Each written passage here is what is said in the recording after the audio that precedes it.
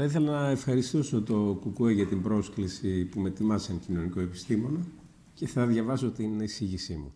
Στην έρευνά μας «Ανισότητες και ψυχική καταπώνηση» που έγινε με την επιστημονική ευθύνη της καθηγήτριας Αναστασίας Ζήσης που μέρος της έχει δημοσιευθεί και σε αυτό βασίζεται η εισήγησή μου διαπιστώσαμε ουσιαστικά με ποιο τρόπο οι κοινωνικές ανισότητες περνούν στο χώρο διαμορφώνοντας μια κοινωνική γεωγραφία της υγείας όπως βγαίνει γεωμετρικά στην πόλωση βόρεια, προάστια, δυτικές συνοικίες στην Αθήνα, όσο και στη Θεσσαλονίκη, καλαμαριά πανόραμα από τη μια, κέντρο και δυτικές συνοικίες από την άλλη. Στην έρευνα αυτή καταδείχθηκε πως τα άτομα ανάλογα με τις ταξικές τους θέσεις στο πολιτισμικό κεφάλαιο, δηλαδή σχήματα αντίληψης και αξιολόγησης πραγματικότητας, που υπάρχουν και μεταφέρονται μέσα από τις πρακτικές κοινωνικοποίησης, κυρίως μέσω της οικογένειας, και το κοινωνικό κεφάλαιο, που είναι τα δίκτυα κοινωνικών επιρροών, διαπροσωπική δεσμή, δίκτυα αμοιβαίας υποστήριξης και αναγνώρισης κλπ. κατανέμονται άνισα, πράγμα που αποτυπώνεται και χωρικά. Ουσιαστικά πρόκειται για κοινωνικούς πόρους που δείχνουν το βαθμό κοινωνικής ένταξης, προσφέροντας κάλυψη στα άτομα σε περιπτώσεις κοινωνικών και προσωπικών δυσκολιών.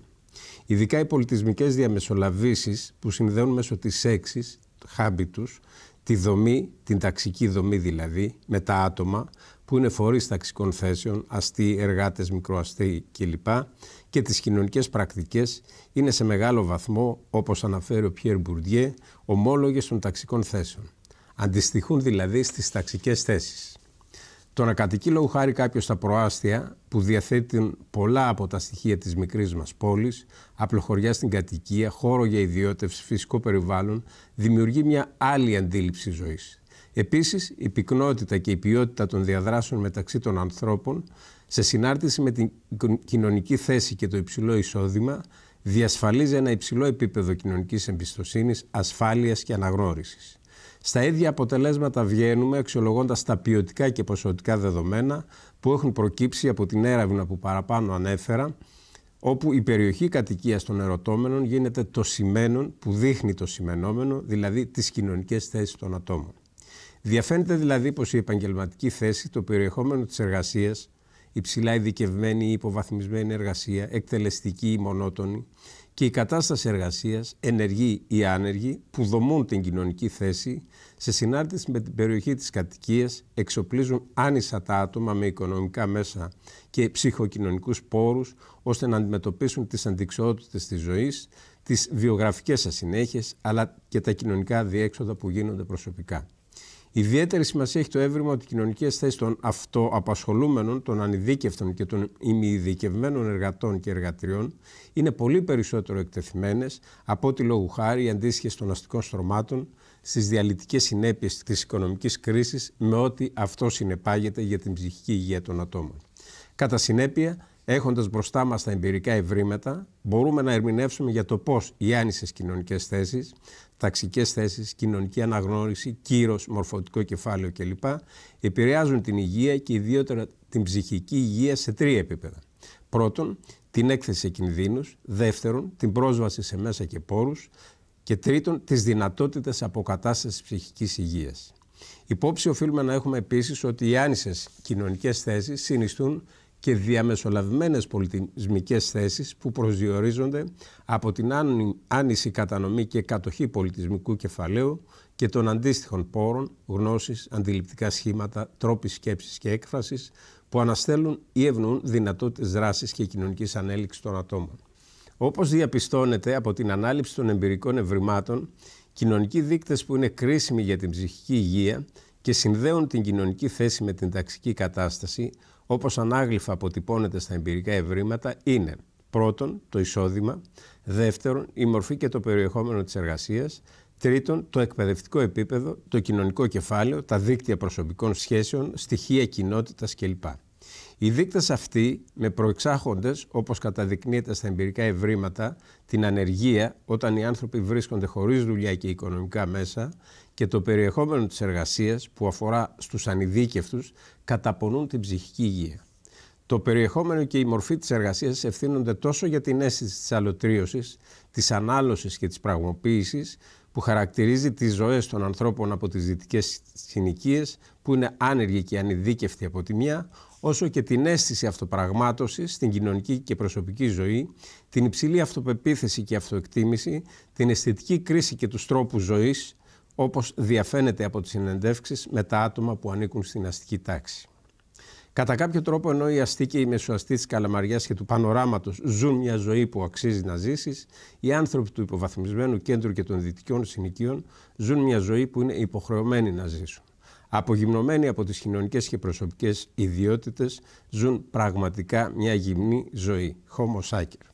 Αν η ανεργία ως ταξική κατάσταση της εργατικής τάξης βιώνεται τόσο τραυματικά, πώς βιώνεται η ταξική συνθήκη στα άλλα στρώματα, είναι χαρακτηριστικό ότι ενώ οι μικροί εργοδότες Καλαμαριάς και του Πανοράματος, επειδή βιώνουν την κοινωνική τους θέση αντιφατικά, καθώς θέλουν να ανελιχθούν, αλλά συνήθως εκπίπτουν κοινωνικά και προλεταριοποιούνται, γίνονται δηλαδή εργάτες, αναζητούν την ευχαρίστηση εκτός της επαγγελματικής τους δραστηριότητας, εξισορροπώντας το επαγγελματικό στρες και την ψυχολογική πίεση με τον αθλητισμό, το ψάρεμα και την κοινωνική συναναστροφή, οι αστεί των συγκεκριμένων περιοχών, έχοντας μια απόσταση από την ανάγκη, απολαμβάνουν κατά κάποιο τρόπο την κοινωνική τους θέση προτεσταντικά, αναζητώντας ευχαρίστηση στην επιχειρηματική τους δραστηριότητα και στην επαγγελματική ζωή.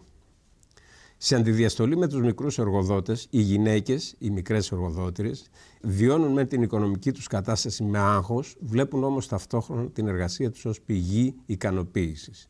Ενδεχομένως και επειδή αυτή συνιστά και την κοινωνική βάση για τη χειραφέτησή τους. Ευχαρίστηση με την εργασία αισθάνονται και υψηλά ειδικευμένες γυναίκες στη μισθωτή εργασία, που βλέπουν την εργασία ως μέσον αυτοπραγμάτωσης και απελευθέρωσης. Λαμβάνοντας υπόψη τη μορφή και το περιεχόμενο της εργασίας, αλλά και την εισοδηματική οικονομική κατάσταση, τα μεσαία και αστικά στρώματα βιώνουν την εργασία ως αυτοπραγμάτωση, ως πηγή ευχαρίστησης. Στον αντίποδα, τα εργατικά στρώματα βιώνουν την εργασία τους που έχει όλα τα στοιχεία της εκτελεστικής σκληρής χειρονακτικής εργασίας, επιτήρηση, μονότονη, επίπονη, ως μόχθο και αγκαρία. Η εργασία για αυτά τα στρώματα κινείται κυριολεκτικά στο βασίλειο της αναγκαιότητας και κάθε άλλο παρά αποτελεί πηγή ευχαρίστησης.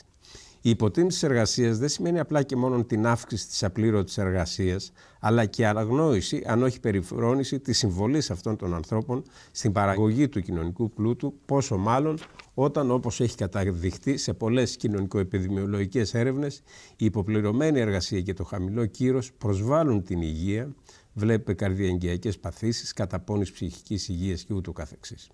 Και ναι, μεν το κύρος κάθε εργασία σε μια καπιταλιστική κοινωνία είναι δοτό, με την έννοια ότι η απόδοσή του έχει να κάνει με ξένα ως προς την κοινωνική χρησιμότητα ή προσφορά μιας εργασίας παράγοντες, εν τούτης, όταν αυτή η περιφρόνηση εσωτερικεύεται, μειώνει το βαθμό αυτοεκτίμησης του ατόμου και το καθιστά ευάλωτο, πόσο μάλλον όταν τα άτομα από τα εργατικά και λαϊκά στρώματα δεν έχουν στη διάθεσή τους κοινωνικούς και πολιτισμικούς πόρους για να εκλογικεύσουν τη θέση τους αναπτύσσοντας ένα χειραφετητικό χάμπι τους. 6. Κατά κάποιο τρόπο αυτά έχουν ανάγκη περισσότερο από κάθε άλλον το κοινωνικό κεφάλαιο της τάξης τους, συνδικαλιστικές και πολιτικές οργανώσεις, πολιτιστικές δραστηριότητες κλπ. που γι' αυτά επέχουν θέση συλλογικού κοινωνικού κεφαλαίου. Γίνεται σαφές πως σε αυτές τις συνθήκες η κοινωνική ανημποριά, η μετάβαση σε μια κατάσταση ανεργίας και εργασιακής επισφάλειας θα σωματοποιείται. Θα έχουμε δηλαδή σωματικά συμπτώματα και θα εσωτερικεύεται καταπονώντας επίσης την ψυχική υγεία, αφού το σωματικό με τα έχνη που αφήνει περνάει και στο ψυχικό. Εδώ το σώμα δεν είναι αυτός σκοπός, αυταξία, όπως περίπου το αντιλαμβάνονται οι αστεί και τα μεσαία στρώματα.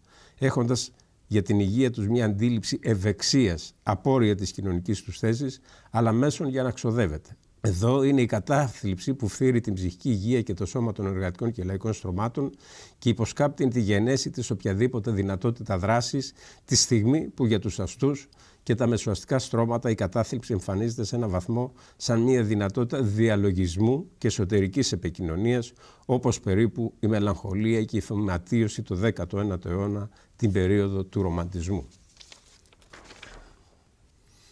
Όπως έχει επιβεβαιωθεί σε σημαντικές κοινωνικο-επιδημιολογικές έρευνες, η, εργασία, η εργασιακή επισφάλεια, η ανεργία και η υποπληρωμένη εργασία που επιτείνεται από την έλλειψη ασφαλιστικών πόρων, διευρύνει τις κοινωνικές ανισότητες, καθιστώντας κυρίαρχο το αίσθημα της αδικίας και της κοινωνικής ανημποριάς, γεγονός που επιδρά διαβρωτικά στην ψυχική υγεία. Μπροστά σε αυτές τις ανατροπές, οι άνθρωποι αδυνατούν να ελέγξουν τη ζωή τους. Εν τούτης, όπως φαίνεται στην έρευνά μας, οι ενειδίκευτοι και οι άνεργοι έχουν την πλέον κακή ψυχική υγεία. Το έβριμα αυτό μας υποχρεώνει να εκτιμήσουμε εκ νέου τη σημασία της εργασίας, τόσο ως απασχόλησης που διασφαλίζει τους οικονομικούς υλικούς πόρους για την επιβίωση, ποσοτικά, αποκαθιστώντας τους άνθρωπους ως παραγωγούς, όσο και ως δημιουργικής δραστηριότητας που παράγει υποκειμενικότητα και κοινωνία, ποιοτικά εξανθρωπίζοντας τον άνθρωπο όπως το έθετε ο Μάρξ. Αν λοιπόν τα άτομα των δυτικών συνοικιών και του υποβαθμισμένου κέντρου της Θεσσαλονίκης κοντολογήσει η εργατική τάξη και τα λαϊκά στρώματα, όπως εμφανίζονται στα εμπειρικά ευρήματα, αδυνατούν να οργανώσουν εξαιτίας της ανεπαρξίας υλικών και πολιτισμικών μορφωτικών πόρων την υποκειμενική τους εμπειρία, πώς μπορούν να συμμετάσχουν ισότιμα στις διαδράσεις όπου κατασκευάζεται ο κοινωνικός κόσμος.